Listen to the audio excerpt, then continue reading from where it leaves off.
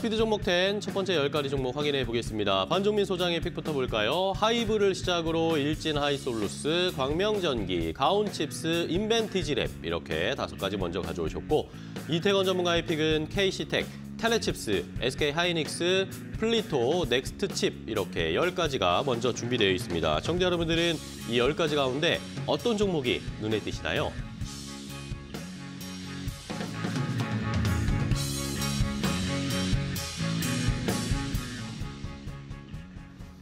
자, 두 분이 이렇게 좋은 종목 10가지를 먼저 선택을 해오셨습니다. 시청자분들 잘 보셨죠? 이 10가지 종목 가운데 여러분들이 궁금하신 점이 있으실 겁니다. 내가 가지고 있는 종목이랄지 아니면 관심이 생겨서 매수가, 목표가 알고 싶다 하시는 분들은 저희에게 질문을 보내주시면 되겠습니다. 유튜브 라이브 댓글창 항상 열려 있으니까 여기에 적어주시고요. 자, 그리고 어, 문자로도 받고 있습니다. 샵 3772번 문자로 질문을 주시면 되겠습니다. 자, 그리고 이태건 전문가와 함께 투자 노하우 더 자세하게 공유하실 수 있는 방법도 준비되어 있습니다. 지금 여기 공개됐죠? QR코드를 스마트폰으로 딱 인식하시면 바로 오픈 채팅방으로 함께 입장하실 수 있는 어, 링크가 공개될 거고 아니면 샵 3772번 문자로 이태건 전문가의 성함 세 글자 이태건 이렇게 보내주시면 저희가 자세하게 안내해 드릴 테니까요. 많이 참여해 주세요. 그리고 이태건 전문가님도 좋은 투자 노하우 많이 공유해 주실 거죠? 네, 알겠습니다. 네, 좋습니다. 자, 그럼 바로 릴레이를 이제 시작을 해봐야 되겠습니다. 오늘은 또 어떤 종목들로 시작을 해보고 공략해볼까요? 먼저 반종민 소장님의 첫 번째 종목부터 시작하겠습니다. 네, 첫 번째 종목은 하이브고요. 하이브요. 이, 전에 아마 제가 말씀드렸을 때 20만 원대 아래 때 내려가면 그때 좀 매수를 해보자라는 말씀 오, 드렸습니다. 네. 그 동사의 경우에는 뭐 엔터테인먼트 기업이기도 하지만 라이프 스타일 플랫폼 기업이기도 하다라는 말씀 드리겠고요. 삼분기 실적에 대해서는 뭐 매출이 5,379억 원 그리고 영업이익도 뭐 좀 잘 나온 편이긴 합니다. 그래서 어, 전년 대비 각각 이제 증가를 했지만은 그 주가가 최근에 이제 조정받았던 이- 이유는 연예계 마약 이슈에 따른 것도 좀 어느 정도 있기도 했고 동사의 그 엔터에 대해서 피크아웃 얘기도 나오면서 주가를 좀 하락을 했던 요인이지 않을까라고 보고 있고요. 특히 이제 하이브의 경우에는 그 넷마블이 그 보유 지분을 좀 블록딜을 했다 보니까 이러한 그 세 가지의 영향을 따라서 좀 주가가 좀 최근에 조정을 많이 받았다 보시면 될 것 같습니다. 네. 어, 동사의 경우에는 이제 앞으로 좀 모멘텀을 살펴볼 것이 90일간 좀 선보였던 오디션 프로그램이 있었는데 그게 드림 아카데미라고 합니다. 근데 그 드림 아카데미를 통해서 최종 멤버를 지난 19일에 확정을 했는데 이게 지금 내년 하이브가 미국에서 데뷔할 여섯 6인 걸그룹에 대한 멤버가 구성됐다 보시면 될 것 같습니다. 그렇기 때문에 지금 뭐 JYP 쪽에서는 뭐 A2K에 대한 뭐 얘기도 나오고 있기는 하지만 저는 오히려 하이브 쪽에 이러한 그 걸그룹 멤버들을 좀 살펴볼 필요가 있지 않을까 보고 있고요. 그, 그, 그 아이돌명의 이름은 그 캐츠아이라고 합니다. 그래서 예, 조금 애매모호하긴 한데 어쨌든 그 캐츠아이를 캐츠아이가 내년에 이제 미국에서 데뷔를 하다 보니까 이 점에 대한 기대감이 좀 상당하지 않나라는 말씀 드리겠습니다. 네, 알겠습니다. 하이브 엔터주를 첫 번째 종목으로 가져오셨는데 20만 원 아래로 내려갔을 때 좀 공략을 해보자라는 말씀 해주셨죠. 한 번 더 저희가 살펴보도록 하겠습니다.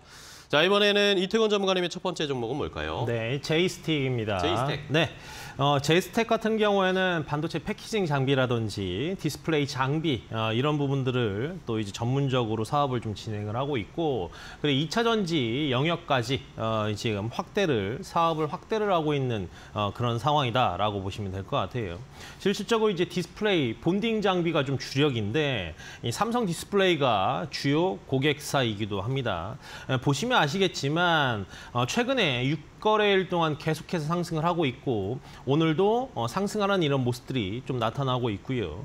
그리고 이제 박스권 저점 부분부터 어, 고점 부분까지 다시 한번 도약하기 위해서 차근차근 어, 올라가고 있는 부분이라고 말씀드릴 수 있을 것 같습니다. 사실 2차 전지 섹터 흐름들은 뭐 크게 좋지는 않지만 그래도 이제 꾸준하게 2차 전지에 대한 수주 계약들이 계속해서 좀 쏟아지면서 저점부터 수급이 계속해서 조금씩 들어오고 있는 어, 부분이다라고 말씀 좀 드 릴수 있을 것 같아요. 어, 전기차용 각형 음, 배터리 캔 케이스와 캡 어세이를 또 이제 생산을 하고 있고 그리고 2차 전지 배터리 셀 에, 제조 공정을 수주를 하고 있습니다. 그리고 이제 최근에는 이제 인도의 표준 규격인 인증이 완료가 되면 내년부터는 어, 이런 이 배터리 셀을 이 IBC 인도에 전량 납품할 예정이라고 보시면 될 것 같습니다. 이 IBC 지분을 20% 가량 또 이제 제스틱 보유를 하고 있고 이 향후 1조 원 이상의 수주가 기대되는 부분이니까 좀 지켜보자라고 말씀드리겠습니다. 알겠습니다. 제이스택을 첫 번째 종목으로 이태건 전문가님은 소개를 해주셨어요. 자 이번에는 다음 종목 반종민 소장님 두 번째 소개해 주세요. 네, 일진 하이 솔루스고요. 일진 하이솔루스. 이 일진 하이 솔루스는 그 수소 사업 및 환경 사업 등을 좀 영위를 하고 있는데 네. 특히 이제 수소 탱크 제조 판매 사업 이외에 현대차의 그 수소차 넥소에 들어가는 고압 수소 용기에 대해서 독점 공급을 하고 있는 기업이다라는 말씀드립니다. 그렇기 때문에 뭐 수소차에 대해서는 뭐 그렇게 크게 뭐 부각을 받고 있지는 못하지만은 그래도 이제 앞으로는 좀 주목을 해봐야 될 필요성은 있다라는 말씀드리겠고요.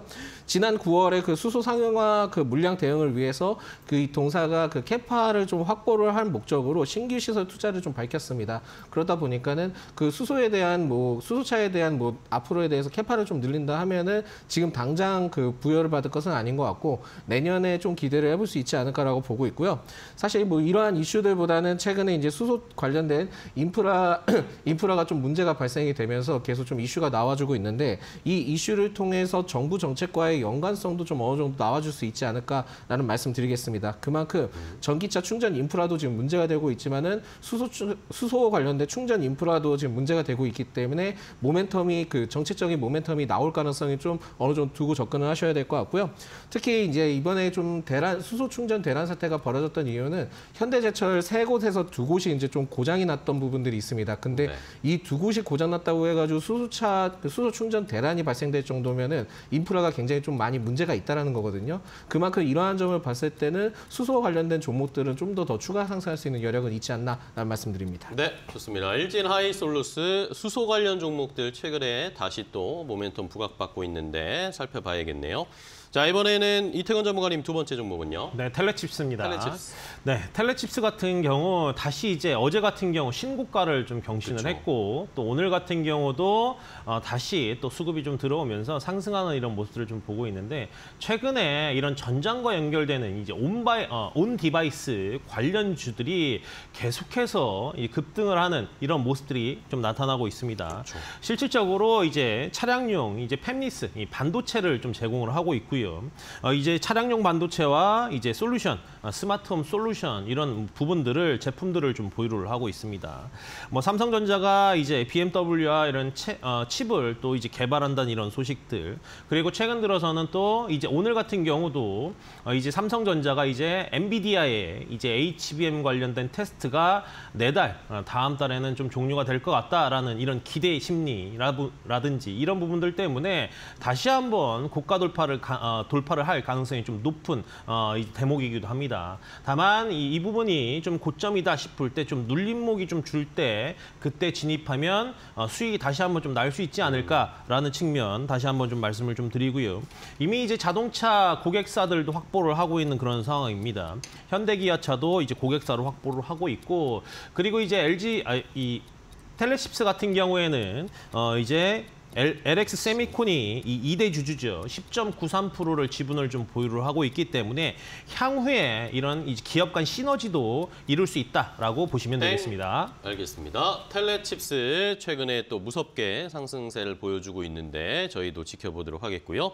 자 이번에는 반종민 소장님의 세 번째 종목입니다. 네, 광명전기고요. 광명전기. 이 광명전기는 중경, 중전기 그 전문 제조업체긴 한데 최근에 이제 동사의 경우에는 이슈들이 나온 것이 그 한전 에 대해서 그 민간 송전만 사업 이슈가 계속 좀 부각이 되고 있습니다. 그쵸. 그, 래서이 이슈가 다음 달에 본격적으로 좀 내올 나올 내용들이 좀 있다 보니까 이 점을 봤을 때는 지금 매수 관점 포인트도 있다라는 말씀을 드리겠고요. 네. 동사의 경우에는 뭐 전년 대비 뭐 실적의 경우에는 증가 그 영업이익이 증가를 하긴 했는데 그렇게 크지는 않습니다. 그래서 실적적인 부분들보다는 결국은 이제 테마적인 중심을 통해서 포착을 하시는 게 매우 좀 좋지 않을까라는 말씀드리겠고 어 최근에 이제 뭐 정부에서 민간 기업 기업 대상으로 송전만 사업에 대한 참여 예정 이슈가 좀 부각이 되면서 저번 주 금요일 때 큰 상승을 했는데 지금은 좀 일부 좀 조정을 받고 있습니다만 다음 달에 그 전력 설비와 관련된 이슈가 좀 부각될 가능성이 있다 보니까 오히려 지금 매수 포인트로서 보셔도 될 것 같다는 말씀드리겠고 추가적으로 동사의 경우에는 삼성물산과도 이제 평택 P P4에 대해서도 좀 계약을 체결을 했는데 매출은 좀 그렇게 미비합니다. 그렇게 크진 않지만은 기존에 이제 삼성과 관련된 그 공급 계약을 예전에 체결을 했던 이력이 있다 보니까 결국 추후에는 네옴시티와 관련된 이슈가 부각됐을 때도 동시에 같이 부각될 수 있다는 점을 참고를 하시면 좋을 것 같습니다. 그래서 이 점을 좀 체크를 해보실 필요가 있는데 금일 이 민간 그 관련된 그 송전만 사업에 대한 이슈에 대해서 그 내용이 좀 논의가 될 예정입니다. 그래서 금일 이슈를 통해서 상승할 수 있는 여력도 있기는 하지만은 이거보다는 다음 달에 있는 그 내용을 참고해서 접근해 보시면 좋을 것 같습니다. 땡 알겠습니다. 광명전기까지 소개를 받아봤고요. 자 이번에는 이태건 전문가님의 세 번째 종목은요. 네, 이제 SK 하이닉스입니다. SK 하이닉스. 네. 어, 뭐 보시면 아시겠지만 지금 이제 HBM의 가장 큰 수혜주이고 대한민국의 대표적인 역할을 하고 있는 어, 그런 기업 그리고 이제 미국에서도 월가에서도 원픽으로 뽑았던 종목이 SK 하이닉스입니다. 어, 지금 SK 하이닉스 같은 경우에는 10만 원에서 이제 12만 5천 원 구간 박스권을 돌파한 이후에 어, 이제 13만 원부터 지금 현재 13만 5천 원 전 고점을 돌파를 하기 위해서 어, 이제 고군분투하고 있는 그런 상황이다 라고 보시면 될 것 같아요. 아까 이제 좀 전에도 말씀드렸다시피 이 엔비디아가 이 마이크론, SK 하이닉스, 삼성 어, 이제 디- 어, 이제 메모리 기업 3사에게 모두 테스트를 좀 진행을 하고 있고 이 HBM 때문에 이제 어, 수주가 계속해서 좀 일어날 수 있는 이런 부분이거든요. 물론 3분기 실적도 좀 잘 나왔고 이제 엔비디아가 이제 중국의 뭐 매출 감소에 대한 이런 흐름들 때문에 사실 지금 현재 자리에서 더 뻗어야 될 어, 그런 상황이긴 한데 현재 좀 횡보를 하면서 이제 매집을 하고 있는 어, 그런 부분이지 않나라고 말씀드릴 수 있을 것 같습니다. 물론 실적 부분이야 4분기 후 4분기 혹은 또 내년 되면 더 긍정적인 흐름이 좀 나타날 것 같은데요. 이미 SK 하이닉스 같은 경우에는 이제 5세대죠. HBM 5세대, HBM 3E 이 제품도 지금 테스트 중에 있기 때문에 크게 이변이 없는 이상 예, 엔비디아의 추가적인 납품이 이루어질 가능성이 좀 높고 이미 어, 이제 내년 물량들은 다 끝났기 땡. 때문에 이 흐름 지켜보시면 좋겠습니다. 알겠습니다. 자 반도체 대표주 SK 하이닉스 한번 저희도 지켜보도록 하겠습니다. 엔비디아 향 계속해서 기대감은 이어지고 있고요. 자 다음은 반 소장님의 뭐 다음 종목 뭘까요? 네, 가온 칩스고요. 가온 칩스. 이 가온 칩스는 시스템 반도체 전문 디자인 솔루션 업체다라는 말씀드리겠고 특히 네. 이제 설계와 관련된 것으로 좀 판단하시면 좋을 것 같습니다. 삼성전자의 그 가- 삼성 파운드리 공식 디자인 솔루션 파트너사기도 하고요. 특히 이제 시스템 반도체를 설거자, 설계를 하고자 하는 fabless fabless 고객사에 좀 디자인을 해주는 기업이다라는 말씀드리겠습니다. 동사의 경우에는 뭐 최첨단 고, 공정인 3나노 시장 공략 에 좀 앞으로 좀 집중을 할 그 계획을 좀 발표를 했는데 특히 이제 내년부터 AI 반도체 하는 글로벌 그 주요 팹리스 업체를 통해서 수요가 그 급증할 것으로 좀 기대가 되고 있습니다. 그만큼 동사의 경우에는 이제 앞으로 해외 시장 쪽에 대해서 굉장히 좀 주목을 하고 있다라는 보시면 될 것 같고요. 내년에 1분기 때 신설 예정인 그 미국 법인 중심으로 통해서 글로벌 거래처 확보에 좀 주력을 거래선 확보에 좀 주력을 한다라는 얘기들이 나왔다 보니까 오히려 이러한 흐름들을 봤을 때 내년에도 좀 기대를 해볼 수 있지 않을까라고 보고 있습니다. 그리고 그 개발적인 개발 중인 프로젝트 11건 중에 11건도 있기도 하지만 턴키 비즈니스를 통해서 중장기적 높은 실적에 대한 성장 기대감이 좀 어느 정도 나와주고 있다 보니까 추가적으로 상승할 수 있는 여력은 충분하지 않나라고 보고 있습니다. 다만 최근에 이제 주가 흐름들이 11월부터 굉장히 좀 가파르게 상승을 하고 있는 점이 주가에 대해서 좀 부담스러울 수 있습니다. 그렇기 때문에 지금은 보유하셨던 분들 위주로만 그 체크를 해보시는 게 좋을 것 같고 지금 현재 구간에서 추가 상승을 하게 된다 하- 하면은 못해도 한 5만 5천 원까지나 6만 원까지는 바라보셔도 될 것 같다는 말씀드립니다. 네, 알겠습니다. 가온 칩스 설명을 해주셨는데, 자 유튜브에서 장투미즈 님이 가온 칩스 어제 우선 trading으로 매도를 했는데 추가로 매수할 때 어느 정도 가격으로 진입하면 좋을까요? 라는 질문도 주셨어요. 어 저라면은 지금은 뭐 추가 매수를 하지는 않을 것 같고요. 네. 워낙 이제 높기 때문에 그 적은 비중으로 한다 하면은 오히려 5만 원 아래때 내려오면은 그때 좀 적은 비중으로 좀 매수해 보는 것도 좋은 방법이다라는 말씀드립니다. 네, 알겠습니다. 5만 원 아래로 내려갔을 때 좀 매수를 하면서 한번 수익을 보신 것 같아요. 그러니까 다시 한번 노려보는 전략 참고해 주세요. 장투미주님. 자, 그럼 이번에는 이태건 전문가님의 네 번째 종목이죠. 네, 플리토입니다. 플리토. 어, 플리토 같은 경우에는 뭐 다들 아시겠지만 삼성전자 이제 수혜를 볼 수 있는 이런 종목이긴 합니다. 사실 이제 삼성전자가 이런 AI 기술을 좀 선보이겠다. 내년에 이제 unpack에 어, 이제 갤럭시 24의 실시간 통역 통화 를 통해서 이제 기능을 탑재하겠다 좀 발표를 했죠. 거기에 이제 가장 수혜를 볼 수 있는 게 이제 플리토다라고 해서 이제 수혜주로 좀 언급이 되고 있습니다. 이미 이제 플리토 같은 경우에는 삼성전자나 뭐 MS 그리고 이제 중국의 텐센트 그리고 일본의 NTT 도코모 이런 어, 기업들에게 이 언어 데이터를 공급을 하고 있습니다. 그렇기 때문에 이 삼성전자가 어, 이제 갤럭시 24 unpack이 내년 1월 17일입니다. 그렇기 때문에 이제 어, 불과 이제 얼마 남지 않았기 때문에 지금부터 슈팅이 좀 나타나고 있는 그런 상황이고요. 중장기적인 관점에서 이제 unpack 전까지는 끌고 가도 되지 않을까라는 측면 이해하시면 좀 좋겠습니다. 사실 이제 플리토 같은 경우에는 이미 전 세계 173개국의 이 통합 번역 플랫폼들을 보유를 하고 있어요. 그렇기 때문에 많은 나라에서 이미 이 플리, 플리토의 제품을 사용을 하고 있다라고 보시면 될 것 같고요. 사실 이제 플리토 같은 경우에는 아, 플리토뿐만이 아니라 다른 어, 이제 기업들의 대한민국 이제 한국어죠. 한국어를 번역하는데 굉장히 좀 오류가 많이 나는 부분이 있지만 플리토 같은 경우에는 이런 부분에서 강점이 있다라는 측면 지켜보시면 좋을 것 같습니다. 네, 알겠습니다. 자, 플리토까지 네 번째 종목 소개해 주셨고요. 자, 이번에는 어, 반 소장님의 다섯 번째 종목 알아볼까요? 네, 인빈, 인벤티지 랩이고요. 인벤티지 랩. 네, 이 인벤티지 랩은 그 약물 전달 기술 플랫폼 기업입니다. 그러면서 지금은 그 비만 치료와 관련된 이슈가 좀 부각이 되면서 최근에 뭐 그 올해 한 7월부터 굉장히 좀 좋은 흐름들을 보여주고 있는데 최근에는 굉장히 좀 크게 조정을 받고 있는 상, 상황이다라는 말씀을 먼저 드리겠고요. 네. 지난 13일 때 그 노보노디스크에 대해서 그 위고비가 심혈관계 그 유익성 입증이 좀 부각이 됐었는데 그 당시 때 일부 좀 상승을 하는 하려는 모습들을 보여주고 있기는 합니다. 그러면서 그때 좀 그 바닥을 맞고 다시 좀 올라왔다 보니까 지금 현재 시점에서는 좀 체크를 해볼 필요가 있지 않을까라고 볼 수 있을 것 같고 특히 이제 그 인벤티지 랩에 대해서 좀 이슈가 나왔던 것 중에 하나가 뭐냐면 비만 치료제 중에 그 세마 클루, 글루타이드라고 있는데 이게 자체 플랫폼 기술에 대해서 적용을 했던 파이프라인이 30일이라는 안정적인 그 약동학적의 프로파일을 좀 확보를 했다라는 이슈가 있었습니다. 그 내용이 좀 어렵죠. 근데 어쨌든 이러한 그 프로파일을 확보를 했다라는 이슈가 있었고 위고비보다 훨씬 뛰어난 것으로 좀 이슈가 부각이 됐다 보니까 그것을 통해서 최근에 이제 주가가 일부 좀 반등을 보였었다라고 보시면 될 것 같습니다. 그렇지만은 좀더 더 흐름을 지켜봐야 되지 않을까 보고 있지만 결국은 지금은 그 어, 결국은 그 비만 치료제나 이러한 관련된 이슈는 계속 좀 부각될 가능성이 높기 때문에 최근에 주가 흐름들을 봤을 때는 오히려 조정을 맞고 지금 추세 흐름들을 전환하려는 모습들을 보이다 보니까 오히려 지금은 매수 포인트가 될 수 있겠다는 말씀 드리겠고요. 네. 기술적 관점으로 봤을 때는 충분히 그 trading 관점은 유효하다는 말씀 드립니다. 땡 좋습니다. 인벤티지 랩까지 소개를 받아봤고요.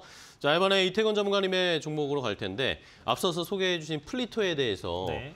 질문이 유- 어, 유튜브에서 시청자분들이 아, 네. 많이 관심을 가지고 계셔가지고 네, 네. 가온님께서는 플리토가 실적을 보면 적자가 좀 지속되고 네. 있는데 네. 이거를 조금 더 주가가 떨어졌을 때 매수를 하는 게 좋을까요? 그게 안전할까요? 라고 질문 주셨고 장투미주님도 오늘 윗꼬리가 좀 많이 달렸는데 네. 매수가를 어떻게 잡아야 될지 궁금하셨다고 하셨어요. 사실 좀 내일까지 좀 왕- 양봉이 뜨면 서서히 3만 원 어, 아래서는 네. 계속 이제 조금 조금씩 모아가는 전략이 좀 필요할 거라고 판단이 됩니다. 그렇기 때문에 플리토 같은 경우에는 오늘 좀 윗거리가 나왔기 나오긴 했지만 네. 어제 이은 이런 흐름이기 때문에 그리고 전 고점에 이제 저항 매물들이 좀 이제 묶여 있는 그런 상황이기 때문에 그런 측면에서 좀 보시면 되겠다. 그래서 뭐 급한 매너보다는 조금씩 뭐 조금 조금씩 이제 모아가시면 될 거라고 좀 판단이 되고요. 3만 원 밑에서는 매수 가능하다라고 말씀드릴 네. 수 있을 것 같습니다. 자 그러면 바로 또 다섯 번째 종목으로 이어갈까요? 네, 어, 넥스트 칩입니다. 아까도 이제 말씀을 좀 드렸는데 사실 최근 들어서 이 HBM 관련주 수혜주 그리고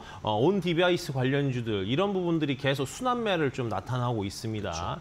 사실 이제 전장과 연결된 부분들이 아까도 말씀드렸다시피 뭐 텔레칩스나 그리고 어, 넥스트 칩 그리고 뭐이 가온 칩스라든지 이런 부분들이 계속 있을 텐데 사실 이제 넥스트 칩 같은 경우에는 뭐 텔레칩스나 다른 종목에 비해서는 좀 이제 흐름이 좀 더디긴 하지만 아직까지 전고점을 돌파를 하지 못했거든요. 그래서 후발 주자로서 한 번 더 슈팅이 나올 가능성이 좀 높기 때문에 어, 텔레칩스가 너무 높다라고 생각하시는 분들은 어, 넥스트 칩을 노리면 어떨까라는 측면 말씀드릴 수 있을 것 같습니다. 아무래도 이제 전장 차량용 카메라 어, 이제 영상 처리를 할 수 있는 시스템 반도체를 좀 전문적으로 취급을 하고 있고 사실 이제 온세미나 ST마이크로일렉트로닉스와의 뭐 협업 중이고요. 그리고 어, 국내뿐만이 아니라 뭐 일본이나 미국 기업들과도 계속 어, 협업을 하고 있습니다. 어, 사실 이제 이미지 센서가 굉장히 좀 중요한데 이런 부분들을 넥스트 칩이 잘 어, 지금 이루어지고 있다라고 보시면 될 것 같고 실질적으로 이제 글로벌 시장에서 어, 이제 관련된 기술을 어, 보유하고 있는 기업들이 많이 없는데 그 중에 이제 넥스트 칩이 관련된 기술을 좀 보유를 하고 있기 때문에 그런 부분들이 좀 수혜가 가능한 아, 수혜가 될 수 있다라고 말씀드릴 수 있을 것 같고요. 예, 차량용 반도체가 시장이 커지면 커질수록 어, 이런 이제 넥스트 땡. 칩이 성장할 수 있다라고 보시면 되겠습니다. 네, 알겠습니다. 자, 이렇게 10가지 종목 먼저 설명을 드렸습니다. 저희가 이렇게 전해드리는 방송 내용은 시청자 여러분들의 투자에 참고가 되는 내용 알려드리는 겁니다. 최종 투자 판단과 결정은 시청자 여러분들께서 직접 내려주셔야 한다는 것 다시 한번 강조드리겠고요.